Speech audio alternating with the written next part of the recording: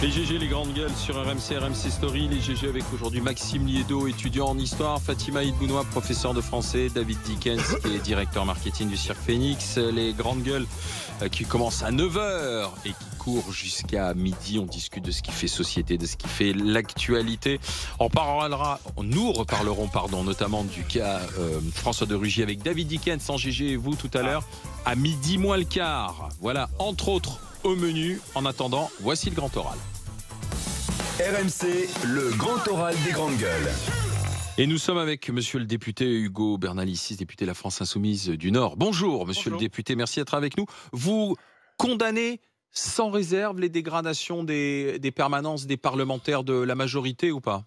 Écoutez, moi, je pense que euh, il y a un sujet sur. Vous condamnez sans réserve. moi, je condamne, je condamne les, violences contre les parlementaires. Et à ce titre-là, je ne peux pas m'indigner d'à côté et ne pas remarquer que quand mon collègue Loïc Prudhomme s'est fait matraquer par les policiers, qui s'est indigné au sein de la majorité?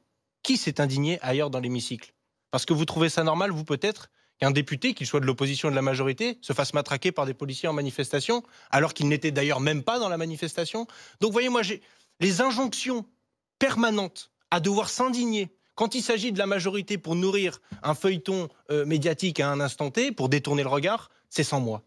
C'est sans moi. Par contre, m'indigner sur les violences euh, que subissent les parlementaires et les Françaises et les Français en général, des violences intolérables, comme celle que visiblement a subi euh, Steve en, tombant dans la Loire, ça, je, serai toujours là pour m'indigner sans aucune difficulté. Donc là, vous émettez quelques réserves, quoi, en fait, en non, parce, que, parce que ce sont vos collègues. Regardez, quand, ce sont vos collègues de la majorité. Et un jour, peut-être, ça pourrait vous arriver aussi. Oui, justement, quand ça nous arrive, il n'y a personne qui s'indigne. C'est ça que je suis en train de vous dire. Quand ça nous arrive, personne ne nous indigne. Je trouve ça dégueulasse. vous que non, vous ne vous indignez pas non, parce que ça arrive aux autres. Non, parce que regardez, quand Richard Ferrand s'est fait incendier euh, euh, sa maison, nous avons fait un communiqué de presse et nous sommes levés dans l'hémicycle avec tous les autres. Quand nos autres collègues parlementaires euh, se sont fait traiter de racistes, ce qui est le cas aussi de ma collègue Daniel, enfin, de, on pas traité de racisme, ont, ont été euh, ont reçu des insultes racistes. Euh, on s'est levé, on s'est indigné avec eux, on a fait toutes les protestations qu'il fallait. Quand ma, ma collègue Danielle Obono mm. se prend des insultes racistes à longueur de journée, mm-hmm. qui est là pour s'indigner à ses côtés? Tout le monde. Ben écoutez, tout le monde. Moi, je le vis, je le vis directement. Non, mais je sais bien que les Françaises et les Français en général, oui, ils ont mm. besoin de s'indigner, et nous avec. Mais j'en ai marre, moi, de cette duplicité euh, de, ce deux poids, deux mesures, euh, surtout du point de vue de la majorité, cette indignation à géométrie variable. C'est pas la nôtre, l'indignation à géométrie variable. C'est celle que je condamne, celle de la majorité, qui ne vient que quand ça l'arrange. Mais est-ce que c'est est -ce c'est -ce normal que votre. Est-ce que c'est normal que le compte Twitter auquel euh, du, du, parti politique, vous regardez mon téléphone, je vais vous mettre sous les yeux si vous avez un doute, tweet en disant que dis-moi où tu habites, je te dirai ce que ton député a voté, en parodiant une carte de météo et en indiquant ensuite sous les tweets, hein, vous pouvez vérifier, euh, euh, où se situe la, la, permanence des députés, le numéro de téléphone en disant que on doit aller ben, la, le compte euh, Twitter de la France Insoumise les, et d'aller les chercher. C'est pas la France Insoumise, c'est des, des, tas d'associations qui le font et elles le font sur à peu près tous les textes. Ah non, mais si vous, concédez son nom, son numéro que vous souhaitez consulter, la liste des votes est en dessous. C'est public. Je veux bien qu'on cache les permanences des parlementaires. C'est bien. Je veux bien qu'on cache les numéros de téléphone des parlementaires. Mais alors, à quoi bon Vous encouragez. Ce que je fais est tout à fait. Non, non, j'encourage rien du tout. Bah, le compte Twitter, si.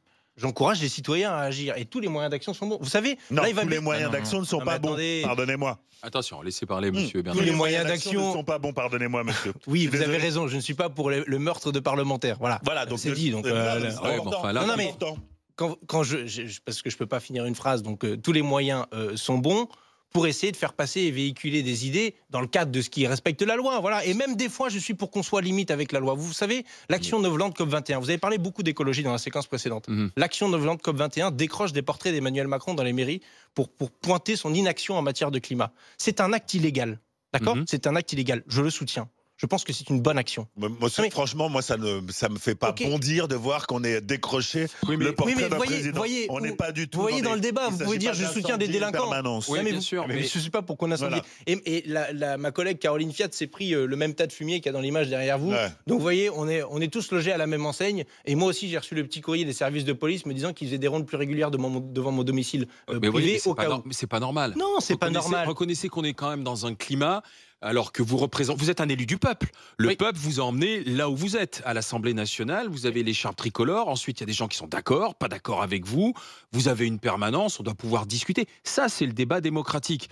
Euh, avoir des, permanences qui sont cassées vers lesquelles on, renverse du fumier. Si on se dit euh, le tag c'est pas grave, l'œuf c'est pas grave, vous voyez, euh, bah, à, à, partir de quel moment ce, sera grave quoi? C'est ça le problème aujourd'hui. C'est une histoire de dynamique. On a eu le même débat euh, souvenez-vous, au moment euh, du plus haut de la mobilisation des hmm. Gilets jaunes. Est-ce que c'était légitime?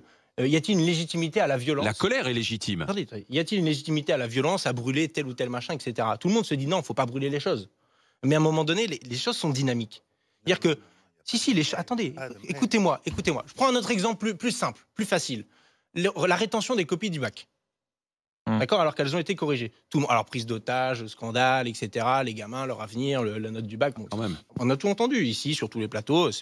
Ok, donc acte. Pourquoi des profs qui ont une conviction profonde de l'importance de ce qu'est le bac choisissent ça, finissent par choisir ça comme moyen d'action? Par ailleurs, la plupart sont non syndiqués. Mmh. Ça doit interpeller. Pourquoi on en arrive là? Parce que toutes les étapes intermédiaires de discussion n'ont pas été respectées. Et n'ont pas été respectées par qui? Par la majorité et par le gouvernement. en ce qui concerne le CETA, par exemple, puisque là, c'est ce qui nous intéresse, puisque les, les, députés qui voient leur permanence dégradée parce qu'ils ont voté le, CETA, à quel moment le, les étapes intermédiaires du débat démocratique n'ont pas été respectées Alors, pour en arriver là, monsieur Bernalicis? Mais écoutez, déjà, 90% du CETA s'appliquait sans même qu'il n'y ait aucun vote dans ce pays. C'est la phase de test. Ça, mmh. c'est pas une phase de test. Non, non, mais il était rentré en vigueur un an avant. Ce n'est pas une phase de test, c'est qu'il est entré pleinement en vigueur à 90% dans toute l'Union européenne sans qu'il n'y ait eu aucune décision démocratique sans qu'il n'y ait eu aucune transparence dans les négociations. Alors vous pouvez dire que c'est génial et que c'est trop bien, mais c'est pas l'idée que je me fais de la démocratie. Mhm. D'accord? Sur les 10% on restants. on ne se fait pas d'idée de la démocratie. Moi, je vous êtes un responsable politique, il n'y a pas d'idée de la démocratie. Si, si la démocratie, c'est une idée. Actes, et ensuite, elle s'incarne dans des actes. Qui sont pénalement répréhensibles. C'est ce qui s'est passé là. je, vais vous mettre, je vous mettre à l'aise. Ce ne sont pas les notes qui, murent les permanents, qui mettent du fumier. d'avoir euh. coupé la parole. Je vous dis juste qu'on peut. Je comprends votre position qui consiste à dire que effectivement la colère est intense, euh, les, gens vivent des choses absolument insupportables et que ça peut conduire à ça. Ça, c'est une façon d'expliquer les choses. On ne régule en, pas revanche, en revanche, vous, votre, votre, votre rôle d'exemplarité, de, vous êtes un de nos représentants, c'est de ne pas euh, aller dans ce sens-là. Vous comprenez ce que je veux dire? Ça veut dire que quand vous condamnez ces actes-là, vous les condamnez, vous les condamnez et vous n'ajoutez pas mais, vous n'ajoutez pas pour autant, vous n'ajoutez pas cependant. Parce qu'à partir du moment où vous faites ça, vous justifiez. Vous justifiez. Quand vous dites, ah oui, mais quand nous, on a été, nos permanences ont été saccagées, personne ne s'en est ému, vous justifiez. Et ça, c'est pas votre rôle. Nous, nous non, j'explique, mais c'est pas grave. Vous nous représentez, et, quand vous faites ça, vous êtes loin de la explications dans la séquence précédente, donc euh, je vais remettre 10 balles dans la machine. Mais, euh, expliquer, ça n'a jamais été justifié. Mhm. Jamais. On a eu ce débat-là, notamment sur les questions de terrorisme, etc., mhm. pour comprendre les logiques. Comprendre, c'est l'essentiel. Si vous ne comprenez pas les processus qui sont à l'œuvre, comment vous voulez les enrayer? Si vous ne comprenez pas que c'est parce qu'il n'y a plus de débat dans ce pays, que les, les, représentants euh, intermédiaires, les organisations intermédiaires ne sont plus respectés, ne sont plus écoutés, et que c'est ça qui fait tout foirer, c'est que les gens, à un moment donné, ils se lèvent pas un matin en se disant, tiens, si j'allais cramer une permanence, si j'allais cramer un McDonald's ou je sais pas quoi, c'est un processus. Le processus de radicalisation, comme on l'appelle, il n'est pas propre au, terrorisme ou je sais pas quoi. C'est des gens qui, à un moment donné, se trouvent confrontés face à un mur dans leur, dans leur vie de tous les jours euh, et, dans, et dans leur euh, dans ce qui sont plus proches. Que, que dire aux jeunes agriculteurs La démocratie, c'est censé. Écoutez-moi, la, démocratie, c'est censé être un système de régulation pacifique pour éviter qu'on se mette sur la, sur la tronche. Mmh. Voilà, c'est à ça que sert la démocratie. C'est pour ça que les débats, des fois, sont véhéments. On préfère s'envoyer des mots à la figure plutôt que des pavés. D'accord Mais quand s'envoyer des mots à la figure ne fonctionne plus, alors des gens, des gens pensent qu'il est légitime que ce n'était pas mon cas, mais des gens pensent que donc il faut réinstaurer de la démocratie pour essayer de faire diminuer le niveau de tension et le niveau de violence. voilà le message. Voilà le message que je porte. Je préfère. Voilà, c'est pour ça que nous avons défendu les référendums d'initiative citoyenne, en hmm. toute cohérence, parce que je pense qu'il vaut mieux d'avoir de l'intervention populaire cadrée avec des systèmes euh, démocratiques que de s'envoyer des pavés à la figure. Hmm. Fatima Idounois. Justement, ma, question, elle va un peu dans, dans, ce sens. Je, constate autour de moi, mais pas, pas seulement, que les personnes qui, qui souhaitent agir ne se tournent plus vers les partis traditionnels, elles se tournent vers elles-mêmes. Et vers leur père. C'est-à-dire, elle crée, on va avoir des associations, voilà, syndicats de parents d'élèves comme le Front de, Front de mer, on trouve ça. On va avoir des, collectifs, voilà, sécurité. Le hashtag machin. Sécurité pour tous, ou alors même sur, voilà, sur Internet aussi en version 2.0. Comment vous, enfin, votre parti va faire, fait, fera pour euh, aller à la conquête de, ce, bah, de ces citoyens euh, perdus, et dépolitisés et, de la démocratie, et qui ont envie d'agir. Ce pas des mmh personnes qui se désintéressent de la vie politique, qui, qui agissent d'une autre manière, mais qui ont l'impression qu'ils doivent agir seuls. Il y a une caractéristique très, très forte dans notre pays sur l'abstention par rapport à d'autres pays, c'est que l'abstention est une abstention active et qu'il y a des mmh. raisons politiques derrière. Je, poursuis le, fil de ce que vous étiez en train de, de, de dire. Euh, je vais vous tenir un propos un peu de politiste, mais en, sciences politiques, c'est analysé déjà depuis plusieurs années euh, qu'il y a en corrélation avec l'atomisation des rapports sociaux, le fait que mhm. chacun soit euh, euh, individualisé dans son coin, une modification des modes de militantisme et de militance, que ce soit dans les organisations politiques, dans les organisations syndicales ou dans les associations. Mhm. Et on est de plus en plus dans ce qu'on a appelé le militantisme post-it. C'est-à-dire quand j'ai le temps, je veux mhm. faire un truc, mais quand j'ai pas le temps, je fais rien. Et il faut que le moment où je peux faire quelque chose, il y ait le réceptacle qui soit là pour me permettre de le faire. Et c'est à ça que, répond euh, le, fait que nous soyons devenus non plus un, parti, mais que nous soyons devenus un mouvement. De se dire à un moment donné, la forme mouvement, l'auto-organisation, l'horizontalité permet ça, cet, engagement. Mais ce n'est pas tout, parce que vous avez dit il y a une défiance envers les organisations politiques. Eh bien nous, notre objectif, c'est aussi de se mettre en relation avec ceux, tous ceux qui pensent que les partis politiques, c'est chiant, c'est pas leur truc, ça les saoule, etc. Qui font plutôt de l'action non violente COP21, comme j'ai dit tout à l'heure, qui font plutôt de l'aide, de la solidarité immédiate avec les migrants, etc. Et de leur venir en aide politiquement et que nos militants euh, puissent aussi agir concrètement avec eux à leur côté quand ils ont du temps. voilà le, comment je oui, mets ça aujourd'hui. Parce qu'ils peuvent adhérer pour une cause, parce que très souvent, on va, on va adhérer à une cause, on a ça, on a le militant. De la même manière que pour les, les, les dons, les gens ne donnent plus pour, euh, pour euh, ils vont donner pour une cause spécifique. Ils vont donner comme ça. Il y a une autre manière de donner. De la même manière, dans l'engagement, on a ça. Mais vous, votre mouvement, il y a une pensée globale. Donc, euh, on peut très bien adhérer d'un point de vue économique et puis trouver que d'un point de vue sociétal, on n'y est pas du tout. Donc, comment, comment vous, vous trouvez un public qui adhère à, l'ensemble et quel est, quel est ce projet global? Ou alors, vous allez faire de cause par cause? Comment non, vous allez faire? Il y, a, il y a du cause par cause, de toute façon, parce qu'il y a une actualité politique, il y a ce qui est mis en avant avant un instant T, donc les gens peuvent nous identifier sur un sujet à un instant T. Euh, mais globalement, c'est ça qui a fait la force de notre campagne de 2017 et qui continue de faire notre force. Pardon, euh, c'est le programme. 2017, vous avez dit 2017. Il continue de faire 2017. Il parlait trop vite. 2017, euh, c'est l'avenir en commun. Le programme, l'avenir en commun. Pardon, pardon, mais qui, pardon, qui, continue. Vous avez dit quoi? Qui continue d'être notre force. Ah, à quel moment c'est une force quand vous faites 6% aux européennes? Eh bien, écoutez, je vais vous expliquer en quoi c'est une force. C'est la cohérence de tous les éléments programmatiques imbriqués les uns dans les autres sur la question sociale, sur la question démocratique, sur la question écologique, et qui font la, la, la, consistance. Non, non, qui font pas un échec. C'est euh, pas un échec, c'est un manque de réussite. Non, non c'est le, programme L'avenir en commun n'est pas un échec. L'élection européenne, oui. Euh, est-ce qu'il y a une corrélation entre le programme L'avenir en commun et l'échec des élections européennes? Non, je ne crois pas pas bah, directement. Par contre, et je crois même que nous avons conquis une hégémonie culturelle sur un certain nombre de sujets, notamment la question écologique, parce que la question écologique n'est pas une ah question neutre. C'est pas un truc euh, ni de gauche ni de droite comme on l'entend euh, bien souvent. Bah, nous avons fait émerger un thème fondamental qui est la question du protectionnisme aux frontières de l'Europe. Personne ne voulait de protectionnisme aux frontières de l'Europe à l'élection présidentielle de 2017. Personne. Si. Tout le ah, monde. Le Rassemblement national. Ouais, même, la droite. C'était même pas, un protectionnisme. de le Rassemblement national. Bah, si, si, si, si, ils l'ont abordé. Si, si, ils l'ont abordé. Comme ils disent tout et son contraire en fonction des semaines, on, va trouver mm. des endroits où ils l'ont dit. Mais bref.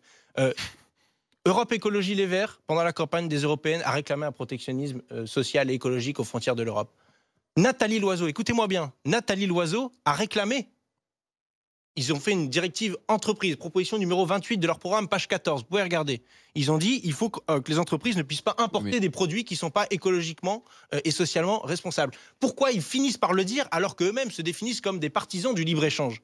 Pourquoi mmh. eux-mêmes finissent par le dire Parce que nous avons réussi à convaincre. Alors oui, ça ne nous sert pas, c'est pas les bulletins d'eau ne viennent pas sur nous, mais je pense que nous avons fait notre travail et que nous continuerons de le faire et que nous continuons de le faire. justement, est-ce que c'est pas aller dans des, des, hégémonies culturelles Vous avez quand même après, je, trouve dans la France insoumise et, à, gauche, à gauche en général, c'est de continuer à foncer dans le mur même quand ça marche pas. C'est-à-dire que, euh, bah euh, oui, euh, bon, c'est vrai que quand on fait rien, c'est plus simple. Non, mais quand on fait rien, excusez-moi de vous, vous, critiquer, je sais que vous rappelez vos 6%, ça fait toujours un peu mal, mais non, c'est un, un peu, c'est un peu le cas. Et même Jean-Luc Mélenchon, d'être élu député, vous savez. Oui, bon, bah, comme quoi, on arrive à se relever. Mais ah, bah, vous voyez, donc faut tenir bon. Ben oui, ben justement, mais peut-être pas en, tenant le, même manche au même endroit pour garder le même cap. Or, même Jean-Luc Mélenchon est parti au Mexique se ressourcer en disant qu'il avait besoin de vision positive. Alors, est-ce que vous êtes sûr que continuer à défendre un programme qui échoue, c'est la bonne idée pour l'avenir de votre parti? Encore une fois, ce n'est pas le programme qui échoue au pire, allez, même. alors, c'est quoi Alors, c'est quoi C'est Jean-Luc Mélenchon. Bah, vous pouvez penser ça, moi je ne le pense pas. C'est une vraie question. Non, mais moi je ne le pense pas. Pourquoi je ne pense pas que ce soit Jean-Luc Mélenchon le programme. le problème. Si vous pensiez, pourriez-vous le dire vous ne pourriez pas le dire. Oui, oui. très bien que vous ne pouvez pas le dire. Je suis quand même quelqu'un d'assez libre. c'est pas, pas, pas, une critique à que je fais. On a parlé tous les sujets qu'on a évoqués aujourd'hui. Non, vraiment. Demi je, vous, le dis, je vous le dis sincèrement parce qu'effectivement, ça peut être perçu comme ça. Et je suis sincère quand je vous le dis. Vous êtes, vous êtes, vous êtes un, un plutôt un homme politique jeune. Et tous les sujets, tous les sujets qu'on a évoqués, tous les sujets qu'on a évoqués aujourd'hui, à part peut-être celui sur l'abandon des animaux, et encore, euh, relèvent d'une crise de la politique euh, aujourd'hui. Vous, vous êtes conscient de cette crise-là, et je pense, et je pense même que ah, vous avez été surpris par les résultats parce que vous pensiez, par exemple, vous êtes approprié la sympathie ou en tout cas l'adhésion des gilets jaunes. Et ça, et ça, c'est vraiment le témoignage. Ça, c'est mmh. vraiment le témoignage d'une crise, d'une nébuleuse politique dans laquelle, ah, si vous ne sortez pas des postures les uns et les autres, et je m'adresse pas à vous, députés de la France insoumise, mais à tous. Ah, on va se planter véritablement. Est-ce que vous, en tant que jeune homme politique, vous êtes conscient de ça Et est-ce que vous ne pensez pas, et est-ce que vous avez des, pistes pour sortir votre mouvement et d'une manière générale les hommes politiques de cette défiance? Oui, vous savez, on, s'inscrit quand même dans une histoire assez longue et on regarde les choses euh, parfois froidement. On espère des résultats, mais après on les, on les reçoit tels qu'ils sont. Mais n'oubliez pas qu'à chaque fois qu'il y a eu des mobilisations sociales majeures dans le pays, les élections qui ont suivi n'ont jamais été favorables à la gauche. Mmh. Mmh. Jamais. C'est bien le problème. Jamais. Celles qui ont suivi un peu après, oui. Mais les celles immédiatement euh, suivantes, jamais. Et oui, peut-être qu'on s'est planté sur un truc pendant cette élection euh, européenne. Je vous le dis, je ne pense pas que sur ça, mais notamment sur ça. On a voulu faire, au sortir de nos amphis d'été euh, à Marseille, on a fait un match, on a, on, a, voulu faire un match en disant faites un référendum anti-Macron, en pensant que c'était nous qui étions en dynamique. D'ailleurs, nous étions plutôt en dynamique à ce moment-là. Donc c'était plutôt une bonne analyse de la situation. Le message a perduré. Euh, sauf que nous n'avons plus été en dynamique pour plein de raisons. Il y a eu les perquisitions, il y a eu d'autres trucs, etc. Mélenchon, euh, Je pense que Jean-Luc Mélenchon a une part de responsabilité bah, On a tous une part de responsabilité, peut-être moi aussi, donc euh, c'est pas le sujet. Mais, je ne crois pas que vous l'ayez. Mais, mais, si, je pense aussi. mais on, a, on, a, on a cette difficulté qu'à la fin, le match, le référendum anti-Macron, qui était deuxième, potentiellement deuxième, voire du coup potentiellement premier, c'était le Rassemblement national.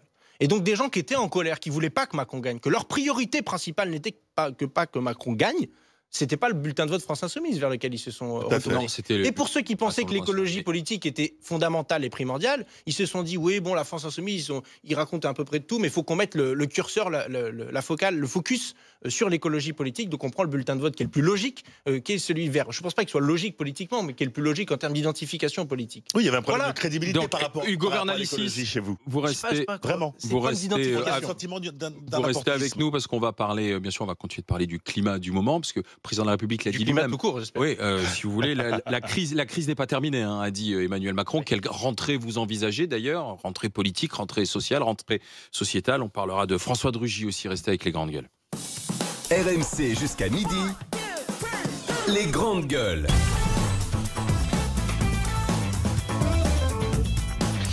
Les GG, les grandes gueules sur RMC, RMC Story. Nous recevons aujourd'hui dans le grand oral des GG le député de la France Insoumise, Hugo Bernalici. Simplement, encore un mot, parce qu'on est, on, est parti sur le poids politique aujourd'hui. Quelle est euh, encore l'importance euh, de, de, la parole politique dans le débat actuel, on voit qu'il y a une défiance hein, vis-à-vis des responsables, on le disait, quelle que soit aujourd'hui leur, leur étiquette, et puis il y a une envie de, de, passer à autre chose en France, il y a une vraie colère, mais en attendant, je le rappelais, vous êtes un élu, vous êtes à l'Assemblée nationale, vous votez ou vous ne votez pas. Mais est-ce qu'aujourd'hui, si je, vote, pour ou contre Oui, pour, pour, vous êtes très présent à l'Assemblée nationale. Peut-être vous, pouvez vous abstenir, je ne sais pas. Ça m'arrive. Mais, euh, ça m'arrive. Aujourd'hui, la démocratie, c'est de respecter le vote aussi, quel qu'il soit. On amende, et puis ensuite, il y a une majorité qui s'exprime, le vote passe. Et donc aujourd'hui, systématiquement, le vote doit être contesté ou est contestable. Attendez, le vote euh, s'applique la décision s'applique, mais votre conviction, elle n'est pas obligée de changer. Non. Vous n'êtes pas obligé de changer de conviction parce que vous avez perdu un vote. Et encore heureux. C'est ça la démocratie. Ce qui est un jour est minoritaire, demain peut devenir majoritaire. Ce qui est un jour est majoritaire, demain peut devenir ça minoritaire. Doit, Les socialistes pourraient vous en parler. Bien sûr, mais ça doit être contesté dans la rue. Ça doit être contesté dans la rue systématiquement Mais c'est un, un, des outils d'une démocratie. D'ailleurs, une démocratie se caractérise par une forme de liberté d'expression, de liberté de manifester et par une liberté de grève. Sinon, c'est pas une démocratie. C'est pas le même régime, c'est autre chose. Mhm. Donc on est bien en démocratie en France en dépit de tout ce qui est véhiculé. Eh, oui. Vous venez d'en donner la définition, j'ai le sentiment que c'est ce que l'on vit dans ce pays. Mais une des caractéristiques. Ah, voilà, parce qu'il y a des histoires de vote, il y a des histoires de séparation des pouvoirs. Non mais euh, là je veux, je veux retrouver un peu de solennité parce que j'ai fait un certain nombre d'interventions qui ont été plus ou moins euh, remarquées et j'en referai à la rentrée parce qu'il y a un problème de séparation des pouvoirs dans ce pays avec l'autorité judiciaire. Je le dis très franchement et très tranquillement. Vous voulez même supprimer l'IGPN, c'est ça? Oui, enfin supprimer les Non, mais vous voulez l'inspection générale, la police nationale. Une inspection indépendante. La police des polices. Euh, une vraie inspection indépendante, oui, c'est la police des polices. Euh, qui, enquête sur Steve d'ailleurs, qui doit rendre son rapport. Euh, ça veut dire que vous ne faites pas confiance au rapport qui va être rendu là. Vous dites-vous que l'IGPN passe plus de temps à enterrer les affaires qu'à les enquêter? Vous pourriez expliquer ça? Ouais. Oui, bah écoutez, la, dernière en date, qui, me semble la plus choquante, même au-delà de Steve, parce qu'on n'a pas encore le, les mm-hmm. éléments. mais là, il y a, l'autopsie, oui les jeunes à Mantes-la-Jolie. Vous vous souvenez de cette centaine de jeunes, 150 jeunes agenouillés, etc. Bon, l'IGPN, avec le, parquet, a classé sans suite son enquête. A classé sans suite son enquête. Alors, ils savent, pour pas trop perdre la face, qu'il y a un juge d'instruction qui a été désigné parce que les avocats, dont Harry Alimi, que je salue, qui est l'avocat de la Ligue des, un des avocats de la Ligue des droits de l'homme, qui fait un excellent travail, euh, a euh, saisi le doyen euh, des, juges d'instruction pour avoir une, mmh. ouverture d'une enquête. Donc il y aura une enquête qui se poursuivra à l'instruction. Mais le parquet, c'est le ministère public, c'est la voix du gouvernement. il n'est pas indépendant selon vous. Mais bien sûr, heureusement mm. qu'il n'est pas indépendant sur mm. un certain nombre de, Il suit une circulaire de politique pénale. Là où on lui demande d'être indépendant, c'est vis-à-vis euh, des politiques sur des affaires individuelles. C'est ça qu'on lui, qu'on lui demande. Décision, tout à fait. Euh, euh, donc, le, parquet a pensé normal qu'il n'avait pas besoin d'enquêter sur l'affaire des jeunes de Mantes-la-Jolie. Est-ce que vous. Moi, je trouve ça scandaleux. pourquoi? Parce que si on veut avoir une autorité dans ce pays, si on veut que la police ait de l'autorité, si on veut que la justice ait de l'autorité, alors il faut être irréprochable avec ceux qui composent la police, ceux qui composent la justice. C'est une condition sine qua non. Vous savez, le ministère de l'Intérieur, déjà, écoutez-moi, le ministère de l'Intérieur, déjà à l'heure actuelle et depuis plusieurs années, est le ministère qui donne le plus de sanctions à ses agents, qui vire le plus d'agents de son propre ministère. Et il y a une raison à ça. Donc ça fonctionne. C'est qu'il y a un besoin d'être irréprochable. Non, parce que dès que vous montez le curseur, dès que vous arrivez à un niveau médiatique qui pourrait avoir des conséquences politiques, du coup, on ne fait plus la lumière, on passe son temps à mettre de l'obscurité. Parce que ça pourra atteindre qui? Le ministre et le gouvernement dans l'action politique. ça, veut dire qu'aujourd'hui, on a un ministre de l'Intérieur qui ne devrait plus être en poste. Quoi, ah bah moi, J'ai demandé environ 78 fois sa démission, donc euh, je peux faire une 79 mois, 79e fois ce matin, ça ne me, posera pas de problème. Même si j'avais dit que De Rugy, je n'avais pas demandé sa démission, il est parti quand même, donc c'était peut-être la bonne méthode. De Rugy qui, qui, estime être blanchi, victime d'un lynchage médiatique, il a dit hier sur BFM TV, et qui n'exclut pas un retour, même s'il dit ce n'est pas de mon fait, c'est du, du, du président. Est-ce que vous pensez que euh, il peut revenir, François de Ils feront bien ce qu'ils veulent. Vous savez, moi, j'ai pas prise là-dessus. Hein, donc, euh, s'ils veulent le faire revenir, je pense que ce serait une catastrophe pour eux. Mais bon, et pour l'écologie surtout, avant toute chose. Euh, parce que, vous savez, c'est le titre du Gorafi qui m'a le plus fait marrer. Oui, qui a dit j'étais à deux doigts de, de, sauver, la, planète et, et Mediapart a tout foutu en l'air quoi. Non, hmm. enfin bon. Bah, il, s'est dit victime d'une affaire personnelle, d'un règlement de compte personnel et d'un lynchage médiatique, François Drugy. Vous avez peut-être remarqué qu'à la France Insoumise, on a, on a réagi comme tout le monde, mais on a assez peu réagi sur le sujet. Pourquoi parce que, ce qui nous, parce que ce qui nous intéresse dans ces moments-là, c'est le fond politique. Quand on a, la seule fois où on a parlé du homard euh, dans l'hémicycle, c'était dans la question au gouvernement qu'a fait mon collègue Adrien Caténins pour, pour rappeler qu'on importait 2000 tonnes de homards euh, dans le cadre du CETA. ok? Et donc on, a, on relie ça à de la politique. C'est ça qui nous intéresse. C'est comment on fait pour lutter contre le dérèglement climatique. Mais je voudrais juste finir, clore la séquence sur l'indépendance du parquet. Le parquet de Nice, vous avez vu dans l'affaire Geneviève Leguet, qui a été interrogé par la chancellerie et qui a répondu qui a répondu qu'il voulait pas qu'il y ait une trop grosse. Il n'a pas dit qu'il a protégé le président, il n'a pas dit comme ça, il était plus mm. subtil et plus intelligent. Euh, il a dit je, voudrais qu'il n'y ait pas trop de distorsion entre ce qu'a dit le président de la République et, euh, mm. puis la réalité des faits. Euh, or, ce qu'a dit le président de la République, de où il a ces informations, le président de la République, quand il s'agit de ce genre d'affaires? Il les aide son ministre de l'Intérieur, non Il les aide son ministre de l'Intérieur. Vous avez le sentiment que tout le monde a condamné les propos et aujourd'hui tout le monde remet en question euh, la, dernier, légitimité. Dernier élément et je dernier élément et je clôt. Les militants de l'action non violente COP21, je vous en ai parlé tout à l'heure, ça me tient à cœur. Ils décrochent des tableaux. Combien de temps ils sont en garde à vue, croyez-vous? En moyenne, ils sont 36 heures en garde à vue.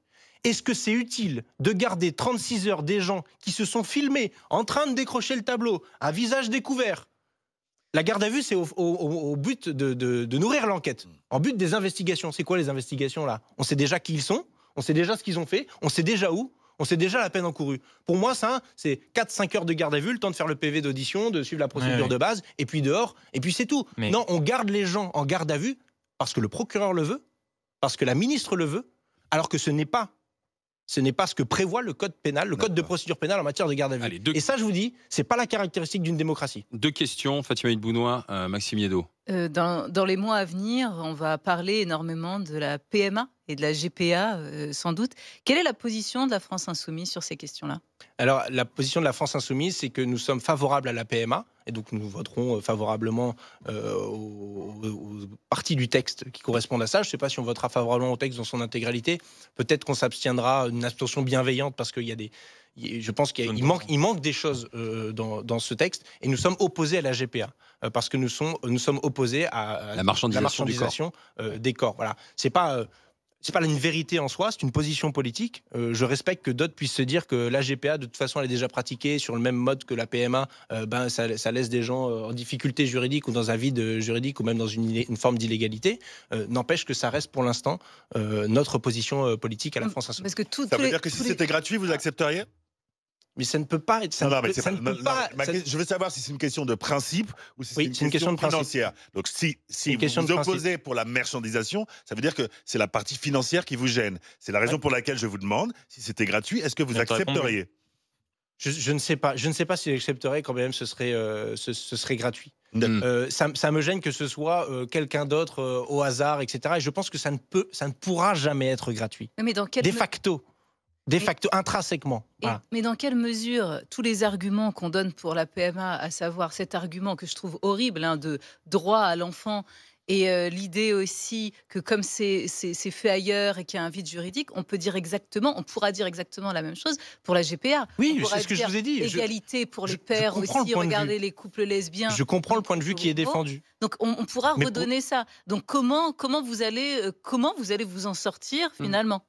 Eh bien, par cet argument que je viens de vous donner. La marchandisation des corps. Oui, et, oui, parce que ce n'est pas possible. Ce n'est pas possible pour moi euh, que l'on puisse accepter euh, ce, genre de choses. Mais je conçois qu'il puisse y avoir un débat dans la société et je souhaite qu'on puisse mener ce débat. Or, le calendrier qui nous est fixé à l'heure actuelle, c'est plutôt euh, allez, on y va vite fait là à la mmh. reprise en septembre, on évacue ça tout de suite ah bah parce qu'il ne faudrait pas que l'électorat, parce que c'est une pour des raisons politiciennes, euh, à la suite des européennes, vous avez un électorat de droite qui s'est massivement reporté sur la République en marche et qui n'est pas hyper fan, même pas de la GPA. Euh, euh, mais alors, c'est votre opinion que vous exprimez ou c'est celle de la France Insoumise C'est celle de la France Insoumise. D'accord. Et la vôtre? C'est la même. D'accord. J'en suis là. L'un des grands rendez-vous qui est attendu même d'ailleurs avec un peu d'appréhension, c'est le G7 fin août du côté de, de, Biarritz. Oui. Ce sera l'occasion de quoi le G7 selon vous, euh, Hugo Bernalicis bah, D'aller de nouveau manifester, euh, d'aller protester ah, bah, euh, Oui, mais ça tombe le même week-end que nos amphis d'été, nos universités d'été à Toulouse, donc c'est un peu, c'est un peu embêtant. Biarritz, c'est pas trop loin. On va, vous inquiétez pas, il y a des intervenants qui iront au contre-sommet du G7 qui se trouvera à Andaille et qui viendront à Toulouse. Des, des, camarades de Toulouse qui iront faire des interventions en Daille. Donc euh, les échanges vont, vont, se faire. Oui, moi, ce sera un week-end d'affrontement avec des Black Blocs et autres? Bah, Je ne le souhaite pas. Je ne le souhaite pas parce qu'à chaque fois, ça décrédibilise la lutte, les nôtres et ce qu'on peut raconter d'intéressant. Voilà, c'est la, la, position qu'on a euh, tenue tout le temps et qu'on tiendra tout le temps. Moi, je suis pour qu'il y ait du débat politique. Et le débat politique, ça peut être par la manifestation mhm. euh, pacifique. Encore une fois, je vous dis, je ne suis pas pour qu'on se, se, batte avec, avec des pavés. et les forces de l'ordre. avec des arguments. Et il y a un sujet pourtant qui devrait être majeur sur le G7, deux à mon sens. Hein. Euh, la question climatique, évidemment, vous en avez parlé dans la, séquence précédente, on en a reparlé là. et la question, par exemple, rapidement? Et la question de la délinquance financière. Ah, mais j'allais vous poser une euh, question. Euh, parce que à la poste, je vous en ai parlé de mon rapport dont personne ne parle, donc j'en parle moi-même.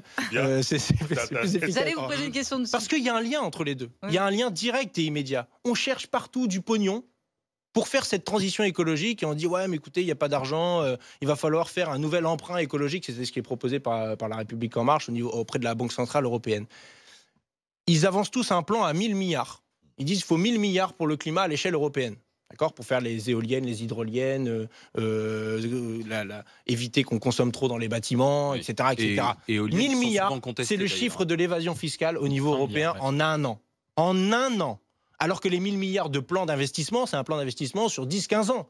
En un an, on a de quoi financer l'investissement pour 15 ans euh, sur la transition écologique. Donc quand est-ce qu'on s'y met? Et qu'est-ce qui bloque alors? Parce que c'est, si vous voulez, on a, on a l'impression qu'il y a une conjoncture de nous, citoyens, qui ne prenons pas vraiment conscience de ce qui peut se passer dans 100 ans.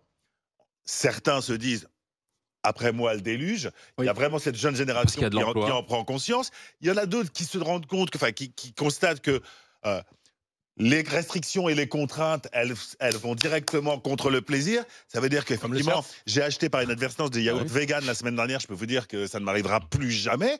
Donc il y, a aussi cette confrontation-là. Et puis il y a, la méthode. Il y a, la méthode qui fait qu'effectivement, on ne prend pas conscience. Vous nous donnez des faits qui sont concrets et malgré ça, ça n'avance pas. Comment vous l'expliquez? Le marché le marché, se faire du pognon, le système capitaliste, euh, il est plus fort que la prise de conscience. Et l'emploi. Du coup, tout ce qui va avec. Donc ça ne marchera jamais. Attendez, attendez. marchera jamais. Euh, une politique écologique n'est pas une politique sans emploi. Elle consommerait plus d'emplois que ce que parce qu'on a besoin de bras pour faire tout ce qu'il y a à faire. Il faut fermer les centrales. On a besoin de beaucoup de bras. Il faut fermer les centrales. Évidemment. Non, pardon, ça par exemple, voilà, ça c'est un Pas du jour au lendemain, mais je, mais voulais m'amener là-dessus. Je vais d'abord vous parler de la transition euh, de l'agriculture en 100% bio. Ça voudrait dire parce qu'elle est, elle est intensive en quoi l'agriculture bio? En bras. Voilà, parce que vous pouvez pas utiliser de l'engrais, machin, donc il faut, faut, utiliser d'autres méthodes qui, demandent plus d'êtres humains pour, pour, faire fonctionner tout ça. Donc ça fait 450 000 emplois. On aurait besoin de 450 000 paysans de plus si on voulait 100% bio à la même intensité pour se nourrir euh, dans le pays. D'accord? Donc, soit on le fait, Soit on le fait, soit on le fait pas. On le fait pas parce qu'on préfère faire de l'agriculture intensive qui continue de rapporter du pognon pour l'instant. Euh, et quand les, terres seront complètement fichues, ben on vous fera des trucs en poudre marqués vegan dessus et puis vous achèterez ça au supermarché. J'ai ça au supermarché à côté de chez moi. Mm. J'ai pas envie on de le tester. fera jamais. Vous êtes en train de euh, dire. Non, non, parce que vous avez dit il y a une prise de conscience. La politique, c'est ce que veulent bien en faire les gens. Pour l'instant, ils s'en désintéressent. Ils la laissent entre les mains. Je, parle du niveau de participation. Oui, bien sûr, j'ai bien compris. Euh, ils la laissent entre les mains de ceux qui veulent faire du pognon. Dont acte. Euh, ça ne t'emporte pas ma conviction. Je continuerai de lutter là-dessus, tout un tas d'associations, etc. Donc il faut continuer. Greta fait sa partie de, euh, de, travail, même si bon, il y a l'arrière-boutique qui n'est pas forcément euh, si clean que ça, mais on s'en fiche. l'important, ah bah c'est l'idée qui en. Qui, non, mais l'important, pour moi, l'important, c'est l'idée qui en reste. Et de, enfin, la surface. L'arrière-boutique. parce qu'elle est conseillère d'un truc de com, machin, qui, qui, qui, est pro-business et qui. bon, moi, il y a une contradiction pour moi entre le marché et, l'écologie politique. Mais il y a aussi, vous savez, on a enferré dans l'histoire de publicité, de marketing. Vous avez dit tout à l'heure, vous avez offert un skateboard électrique. Hmm. Ça m'a marqué, vous avez dit, bah voilà, comme ça, vous pouvez faire ça proprement. Français, Arcos. En plus, français. Euh, vous pouvez faire ça proprement. Ça, c'est beau. Vous savez qu'aujourd'hui, la technologie qu'on a pour les batteries, pour les trottinettes, les skates, etc., est naze. Hmm. La durée de vie est minable. Le bilan écologique de ce genre de, batterie est mauvais et plus mauvais que si vous mettiez du, diesel, etc. Bon, il y a, l'histoire des particules fines, mais on en est là et pourtant on vous le vend. Et on vous le vend comme argument commercial que hmm. c'est propre et que vous faites un bon geste pour la planète. Or, ce n'est pas vrai. Donc, il faut se dépêtrer de, vous, vous vendez oui, mais alors, on sait, pour le moment, on n'a pas les solutions. On est si, si, on a non, on les a pas. Regardez les éoliennes. Non, attendez, regardez les champs d'éoliennes. Justement, alors, justement j'allais tout à l'heure. Il nous reste pourquoi, fermer, par exemple, pourquoi fermer les centrales, sachant que ça produit beaucoup moins de d'énergie que par exemple certaines éoliennes et que par exemple, si on prend l'exemple de l'Allemagne, 500 milliards d'euros ont été investis pour justement fermer euh, les centrales et ça a été un échec total. 500 milliards euh, pour au final compenser avec des centrales à charbon trois fois plus polluantes. Est-ce que c'est la bonne idée Et au final, même le rapport du GIEC, euh, du, GIEC, pardon, oui, du, c'était à l'américaine, n'importe quoi, le rapport du GIEC, euh, justement, préconise de passer euh, au, nucléaire pour continuer à assumer la transition écologique. Ouais, bon, alors. Est-ce que c'est pas une fake news de dire qu'il faut fermer les centrales 30 Non, c'est pas, c'est pas une fake news pour, pour trois raisons en 30 secondes, je sais pas comment je vais faire, mais premièrement, parce que si ça pète, on a l'air con. ça, c'est, c'est la premièrement. Fukushima, c'est pas si loin que ça et c'est dans un pays développé, ok, Ok, why Deuxièmement, parce que l'uranium, ça pousse pas en France. Hmm. Hein Donc il faut aller le chercher. Et ça, c'est pas dans le coût du nucléaire aujourd'hui. Ça, on vous le présente jamais dans l'addition, hein, dans la facture. Ok? C'est un coût essentiellement militaire. Mais comment on fait sans nucléaire? Eh ben, les plans, le scénario, le scénario négawatt, c'est d'ici 2050. Les, des chercheurs, des ingénieurs vous disent d'ici 2050, on sait faire 100%, renouvelable si vous mettez le pognon sur la table. Mettons le pognon sur, sur, euh, sur, la, sur la table. Euh, troisième point, parce qu'il y a eu des canicules là récemment. Euh, c'était pas la fête avec les réacteurs nucléaires. On a dû en fermer quelques-uns parce que le système de refroidissement, il fonctionne avec de l'eau qui elle-même chauffe quand il fait 40 euh, degrés il faut l'améliorer, Pas le fermer. Sinon, on continue à polluer avec des centrales à charbon et l'avenir écologique, il est inexistant. À la limite, pourquoi pas, mais à la fin, ça va finir par vous coûter plus cher l'énergie nucléaire que l'énergie renouvelable. Et euh, vraiment, c'est essentiel et c'est important et c'est déterminant qu'on la fasse, cette transition. Parce que sinon, ces réacteurs vont nous rester sur les bras. Il y a 100 milliards qui vont être injectés là, pour le recaréner. D'accord?